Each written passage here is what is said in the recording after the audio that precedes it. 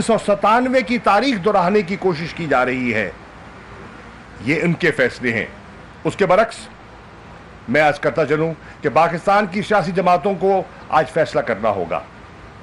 वो जमातें जो आइन के साथ खड़ी होंगी, उनको एक तरफ़ सफारा होना होगा।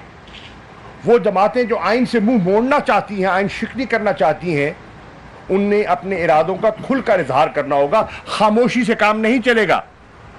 खामोशी मसलतन खामोशी जो पीपल्स पार्टी ने अख्तियार की है यह नाकाफी है। या पीपल्स पार्टी आइन के साथ खड़ी हो, या पीपल्स पार्टी आइन को एब्रोगेट करने का ऐलान कर दे। दो दो, या आधा तीतर, आधा बटेर नहीं हो सकता। आज पाकिस्तान की पॉलिटिकल लीडरशिप में लाइन डिवाइड करनी है क्लियर डिवीज़न आएगी। आइन के साथ कौन खड़ा है? आइन से मुतसादिम कौन खड़ा है? नंबर एक। दूसरा इम्तहान हमारी लीगल फिटर्निटी का है।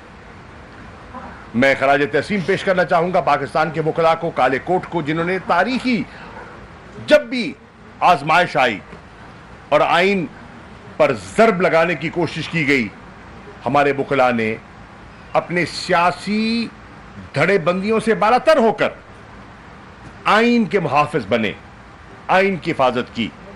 मेरी उनसे अपील है इमरान खान साहब की अपील को मैं दोहराए देता हूँ, और उनसे अपील है कि वो एक मरतबा फिर तारीखी किरदार अदा करे, जो हम उनसे तो कर रहे हैं और उनने किया है। लाहौर में जो ऑल पाकिस्तान लॉयर्स कन्वेंशन हुआ, जस्टिस जावेद इकबाल के ऑडिटोरियम में, उसमें हम शुक्रगुजार हैं सुप्रीम कोर्ट बार के सदर के जनाब आबिद ज़ुबैरी साहब के, उनकी सरबराही में लाहौर हाई कोर्ट बार के सदर जनाब इश्तियाक खान साहब की सरबराही में और उनके जनरल सेक्रेटरीज के दोनों के इन चारों साहिबान के दस्खत हैं, उस रेजोल्यूशन पर, जो आइन की हिफाजत का ऐलान कर रहे हैं और कह रहे हैं वाज पोजीशन दी है कि अगर आइन शिकनी की गई तो वकला आइन के तहफ़ के लिए बाहर निकलेंगे।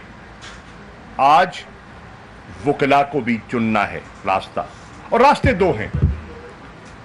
रास्ते दो हैं, और उसमें कोई अभाम नहीं है। और ये मैं एतजाज़ एहसन साहब की बात को आगे बढ़ाना चाहता हूँ, जो उन्होंने एक बात की है। और मैं उनकी बात की, बिल्कुल उनको तस्लीम भी करता हूँ, तायद भी करता हूँ। एतजाज़ एहसन कहते हैं, ये डिफाइनिंग मोमेंट है। और पाकिस्तान के वकला के सामने दो रास्ते हैं। एक रास्ता है, जस्टिस कॉर्नीलियस का और एक रास्ता है जस्टिस मुनीर का। और आपने फैसला करना है कि आप किस सफ में देखे जाते हैं और किस सफ में खड़े होना चाहते हैं। यह है फैसला जो हमारी लीगल फटर्निटी ने करना है। मेरी दरख्वास्त है दस बस्ता दरख्वास्त है, गुजारिश है, अपील है कि वकला अपना वज़न डालेंगे आइन के पलड़े में।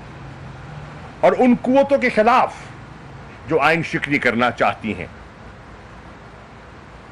और आखिर में मैं अर्ज़ करना चाहूँगा, हम कहते हैं कि हम इस्लामी जमहूरिया पाकिस्तान हैं।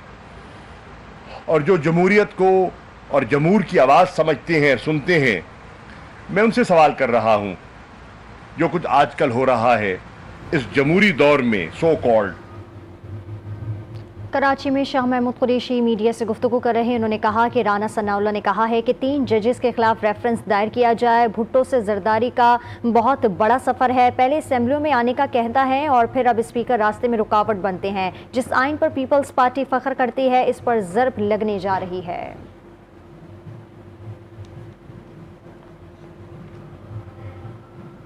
इस न्यूज़ अपडेट को आप तक पहुँचाने के लिए हमारे साथ ताउन किया है।